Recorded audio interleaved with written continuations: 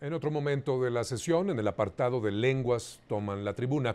Hizo uso de la palabra Florencia Martínez Hernández, originaria de Huejutla Hidalgo y que es hablante de lengua náhuatl.